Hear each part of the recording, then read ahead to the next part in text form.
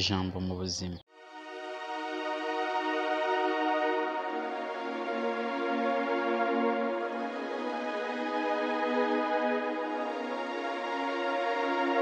Umugabo w'umuhinzi wahingaga cyane yari afite abakozi benshi akoresha. Igihe kimwe rero yari yejeje ibishyimbo yagombaga kubisarura. Yari afite abakozi babisaruraga ababihuraga n'ababyikoreraga babijyana ku bigega bye. Umugabo rero yaje kujya mu mahanga ariko atararangiza gusarura ibishyimbo bye. Asiga abakozi bakora ariko yari yabijeje ko aza vuba akabahemba. Muri icyo gihe byari ibihe bikomeye kuko umuntu yabonaga amaramuko kubera ko yakoze. Mbese ntabwo umuntu yapfaga kubona amafaranga yo kuba yakwifashisha mu buzima bwa buri munsi. Abakozi rero baramutegereje bakora umunsi wa mbere bategereje yuko ari buze akabahemba. Barategereza baraheba. Bakora umunsi wa kabiri bategereje ko ari buze akabahemba. Baraheba. Bakora umunsi wa gatatu baraheba. Bakora umunsi wa kane baraheba. Bakora umunsi wa gatanu baraheba. Umunsi wa gatandatu abakozi bari ku murimo. Bamwe na bamwe batangiye kwibaza. Baravuga ati ese uyu mugabo koko igihe amaze ataduhemba ubu ngubu koko tuzabaho dute? Bamwe batangira kuvuga ngo n'ubundi akazi wakareka kuko ibyo tumaze gukora nta musaruro biduha. Umurimo dukora ni utwinjiriza. Abakozi batangira kwitotomanga uwo nguwo wikoreraga ibintu byinshi yari amaze kuvunika pe. Kuko yatwaraga ibiri ijana aravuga ati n'ubundi ndabona bikomeye kandi tutazanahembwa vuba kandi sinanagabanye banseka tibureka ngiye kugira uko mbigenza. Umunsi wa karindwi rero basubiyeyo bajya gutwara ibishyimbo nk'uko byari bisanzwe. Uwo wikoreraga ibiri ijana bitewe n'uko yari amaze kunanirwa.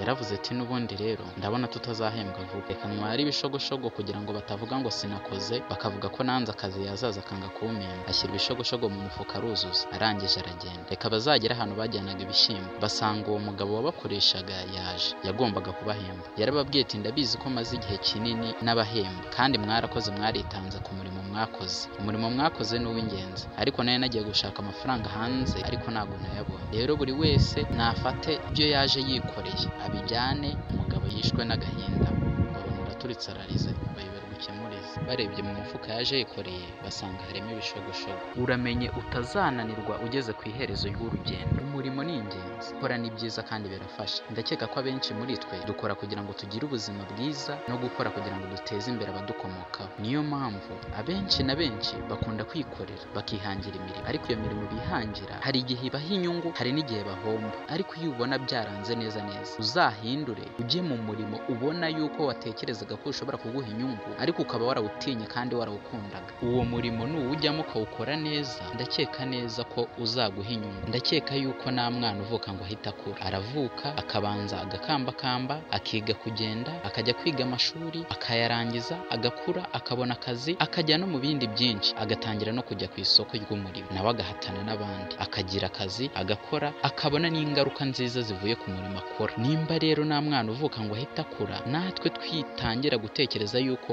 umurimo turimo gukora ubu ngubu wahita uduha inyungu. Ahubwo duce bugufi twizere kandi ibyo dukora tubishyiremo imbaraga. Icya mbere na mbere nakubwira tinyuka ugerageze umurimo watekereza ko wajyamo aho kugira ngo ukomeze gutinya. Ahubwo utinyuka ugerageze urebe neza ko uwo murimo hari umusaruro uguha nubona byanze ujye muri wa wundi. Ariko icyo nakubwira cyo umurimo wiyumvishamo ku nzozi wiyumvishamo ari ibyo ujyamo kuko uyu munsi ni byo bizaguhira kuko ibyiyumviro byawe biragufasha mu buzima bwawe kugira ngo uzabashe kugera ku nzozi z'ubuzima bwawe ndabizi neza ko aho turi twese twabatuye isi. Tuba dutekereza ukuntu twabaho neza tukagira akazi keza tukabona umurimo mwiza uberanye n'uko tumeze. Ariko bisaba kwitonda. Ntabwo bucya ngo uhite ubigeraho. Niyo mpamvu ugomba kwihangana. Utazaba nk'uriya mugabo wananiwe ageze ku munsi wa nyuma. Yarakoze kandi yaratwaye ibishyimbo byinshi ariko byagera ku munsi wa nyuma. Akaba ari we utahana ibishogoshogo. Nawe rero nimba warihanganye igihe gikomeye ukiga amashuri ukemera ukigomwa ukibabaza.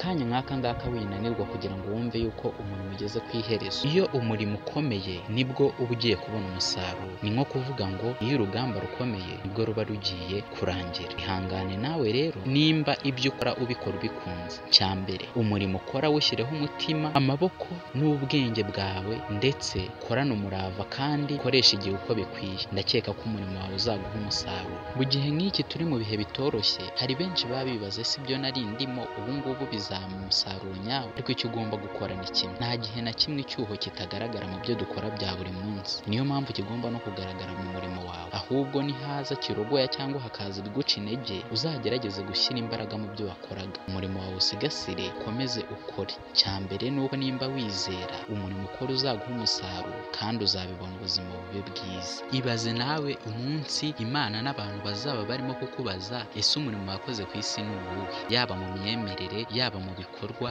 yaba no mu buzima tubayemo bwa buri munsi. Byibaze. Ese uzasubiza ngo iki? Aho ngaho ushyiraho akabazo. Nizere yuko utazabura icyo usubiza. Umurimo wahamagariwe ku iyi si gukora uko bikwiye. Kugira ngo ukore uko bikwiye ni uko uzubahiriza inshingano zose wahawe kandi ukazikora neza vuba kandi zigatanga umusaruro. Uze rero dukomeze dufatanye dukore umurimo uko bikwiye. Umuntu ushobora kuba yumvisha ijambo mu buzima uyu munsi hari byinshi arimo kwibaza. Ariko wakomeza ukajya ukurikira ijambo mu buzima uko bwije n'uko bukeye uzabona umusaruro wabyo uko bizagufasha. Mwari muri kumwe na Habinshuti Jacques mukomeze kudukurikira kuri YouTube channel mukora subscribe kugira ngo nidushyire ijambo mu buzima muhite muribona. Wanakora share like ukabisangiza bagenzi bawe kugira ngo dukomeze dufatanye kandi biguhindurire ubuzima bwawe. Nizeye ko tuzabana kandi tugakomeza gufatanya uru rugendo. Ese kubera iki wabona ijambo mu buzima ukumva ko utabyumva ahubwo ukajya kureba bya bindi bitagufitiye umumaro. Wowe ugerageje kumva ijambo mu buzima ukagera ahangaha